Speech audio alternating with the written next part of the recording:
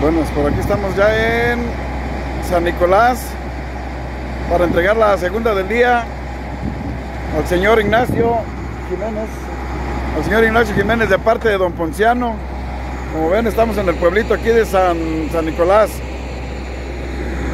Es la segunda entrega de Autotianguis Hugo.